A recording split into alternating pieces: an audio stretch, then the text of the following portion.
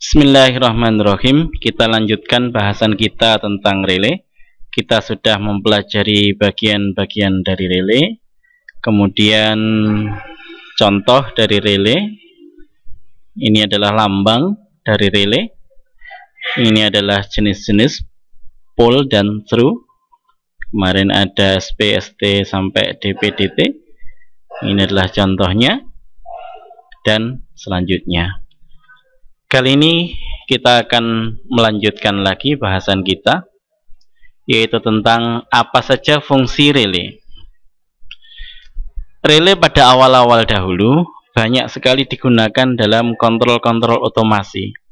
Sebelum ditemukannya komputer, mikrokontroler dan lain-lainnya, maka relay lah yang pegang peranan dalam kendali otomasi. Contohnya untuk mengendalikan lift, nah, bagaimana mengatur motor listriknya jalan atau tidak kemudian naik tingkat demi tingkat semuanya memakai relay. Oke kita lihat di sini fungsi relay. Ada beberapa macam. Sebagai contoh satu adalah sebagai remote control penyesuai voltase penguat daya dan juga untuk mengatur logika kontrol. Kita akan kenal gerbang N, gerbang OR, dan lain sebagainya. Kemudian untuk proteksi dan sebagainya. Kita lanjutkan. Contoh sebagai remote control. Misalkan kita mau mengendalikan motor listrik yang berdaya besar di sini. Untuk menghidupkan dan mematikan, kita tidak perlu menarik kabel yang besar ke arah tombol sini. Tentu ini akan ada daya yang hilang begitu banyak karena kabel yang ditarik panjang dan biayanya pun juga besar. Selain itu saklar yang dibutuhkan pun juga harus besar.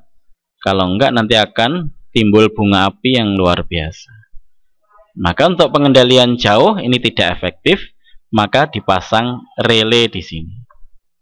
Cukup memakai baterai kecil saja sudah bisa menghidupkan relay di sini.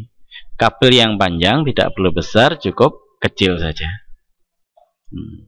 Dengan demikian, kalau saklar di sini ditutup, maka relay berfungsi.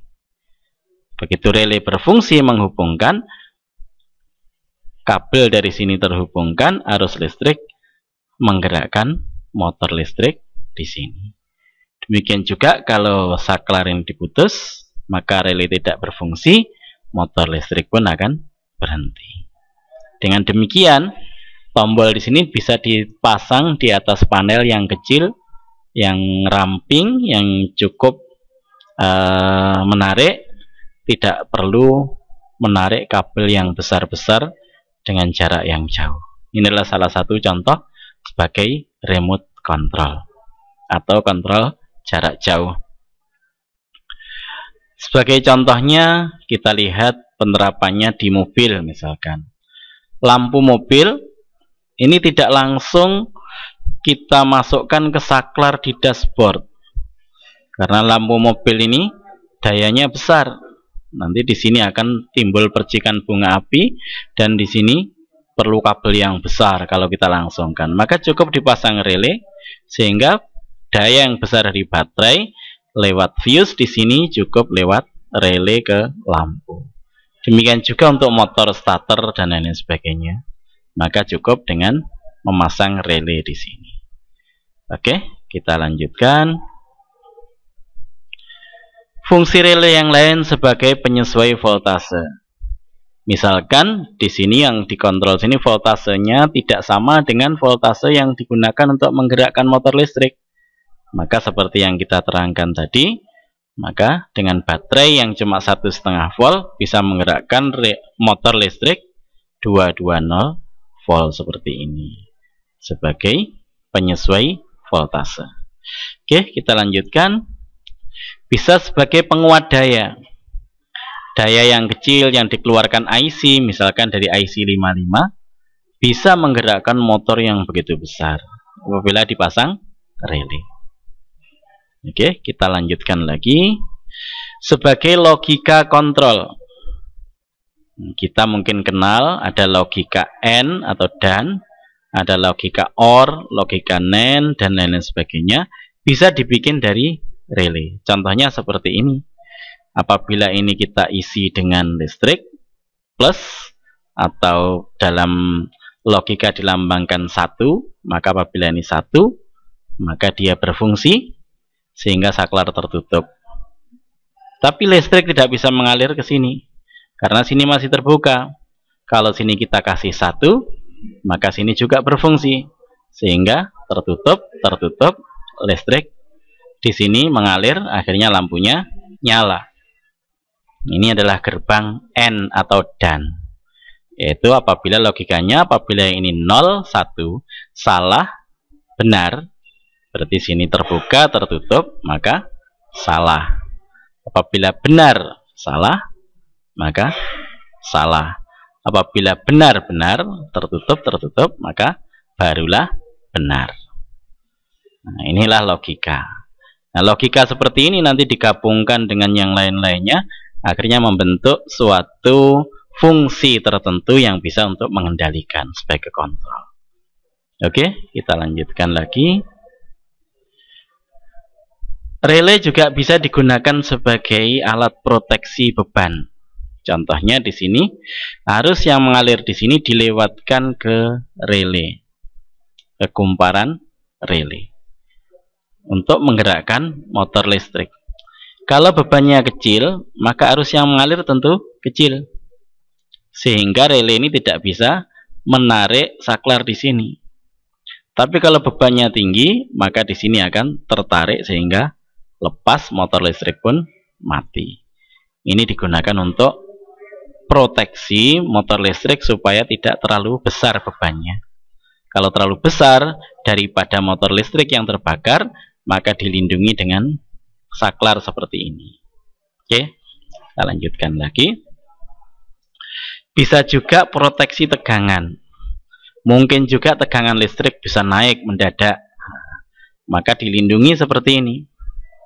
Nah, di sini tentunya ada hambatannya sehingga apabila ada arus listrik lewat sini nah voltasenya biasa-biasa saja maka tidak mampu menarik saklar sini. Tapi kalau voltasenya naik maka dia akan mengaktifkan ini sehingga menarik saklar sini motor listrik tidak terbakar.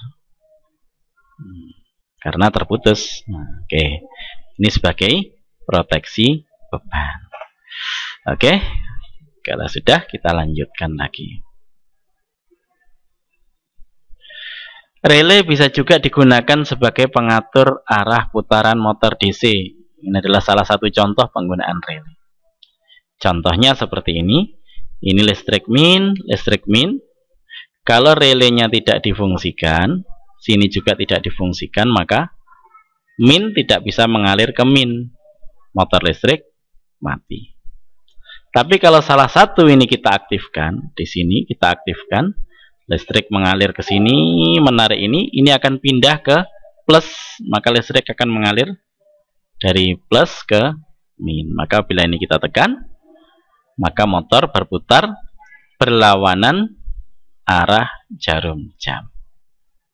Nah, karena listriknya mengalir dari sini ke sini. Ini yang plus, ini yang min. Sekarang kalau dibalik, ini yang diaktifkan, maka putarannya searah dengan jarum jam. Karena yang plus yang sini, sini yang min.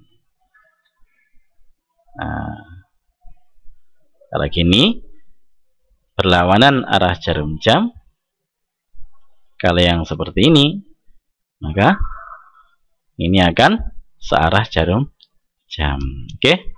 Itulah untuk mengatur arah putaran motor DC oke kita lanjutkan lagi.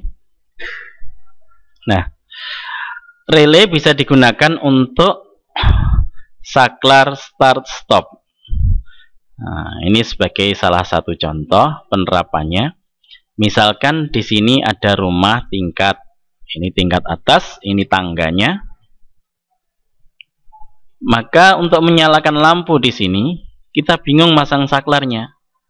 Kita pasang saklar di atas, Maka apabila kita naik dalam keadaan gelap, nah, kalau kita pasang di bawah, oke okay, bisa kita nyalakan, kita bisa naik dalam keadaan terang, tapi repot kalau kita mau tidur, mau mematikan lampu, harus kita turun lagi.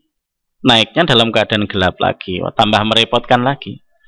Nah, maka bagaimana ini? Kalau bisa, kalau naik dihidupkan di sini, tapi bisa juga dimatikan di sini. Kita tidur, kemudian kalau bangun bisa dinyalakan di sini. Waktu turun, lupa tidak dimatikan, bisa dimatikan dari sini. Gimana caranya seperti ini? Nah, maka mudah saja kita bisa bikin rangkaian start stop dari relay. Contohnya seperti ini. Ini adalah start stop tombol di sini digunakan untuk start, tombol di sini digunakan untuk stop. Kalau ini saya aktifkan, maka arus akan mengalir ke sana. Begitu mengalir ke sana, menyalakan lampu. Sekaligus mengaktifkan relay yang ketiga ini, ini akan tertutup. Kalau ini saya lepas, maka arusnya tidak lagi lewat sini, tapi lewat yang sini. Lebih jelasnya kita praktekkan. Kalau ini saya tutup, maka lampunya menyala. Kalau ini saya, kalau di sini dibuka, bagaimana? Kalau dibuka, maka sini masih tetap menyala karena lewat relay yang ketiga ini. Kalau mematikan, inilah normally close yang dipakai. Kalau ini normally open, kalau difungsikan justru malah off. Nah, kita tekan di sini, baru mati. Kita lepas lagi, tetap mati. Jadi ini adalah untuk start, ini untuk stop. Ini tentu tombol push on ditekan, dilepas, kembali lagi. Nah, maka dengan seperti ini, ini bisa kita paralel jadi tombol start ini kita pasang di atas, di bawah, di mana-mana kita pasang paralel sampai 10 pun bisa. Nah, stopnya juga kita pasang paralel, banyak sekali bisa di semua tempat bisa. Jadi dari semua tempat tadi ada dua tombol, tombol start sama tombol stop. Kita lihat di sini. Sini ada start, ada stop. Sini ada start, ada stop. Mungkin kalau di dalam dekat tempat tidur ada start, stop, bisa juga kita paralel semua maka kita hidupkan dari mana saja dari sini kita matikan di sini bisa. Kita hidupkan lagi di sini bisa terserah pada kita. Itu salah satu penggunaan relay untuk start dan stop. Rangkaian start sama stop ini kelihatannya rumit. Hmm. tapi sebenarnya kalau gambarnya disederhanakan ini akan bisa lebih mudah maka orang menggambarkan rangkaian ini menggunakan ladder diagram atau diagram tangga. Nah, inilah namanya ladder diagram. Seperti tangga karena bentuknya. Jadi diumamakan garis ini adalah garis plus, ini garis min. Bulatan ini adalah lambang dari coil, coil relay. Sedangkan ini adalah saklarnya saja. Jadi koilnya di sini tidak ditampakkan, koilnya di sini tidak ditampakkan. Nah, kemudian yang ditampakkan hanyalah panel apa itu saklarnya saja. Ini normally open, lambangnya seperti ini. Ini normally close, lambangnya seperti ini. Keluarannya di coil di sini. Ini bisa menggerakkan lampu tadi lampunya ya, langsung ke min. Di sini juga menggerakkan saklar yang ada di sini normally open di sini. Sehingga apabila di sini ini on, maka lampunya akan on, ini juga on. Kalau ini off, maka arus listrik mengalir dari sini ke sana. Lampunya tetap on. Nah, di sini kalau difungsikan, maka baru off lampunya. Di sini juga off. Kalau sini tidak difungsikan lagi, kembali tetap off. Jadi sini adalah untuk start. Kemudian ini untuk stop. Nah, beginilah prinsipnya saklar start stop. Oke, saya kira sekian dulu. Akan kita lanjutkan lagi dalam bahasan berikutnya tentang relay sebagai rangkaian logika. Oke, uh, video ini kita cukupkan sekian. Sampai jumpa di video berikutnya.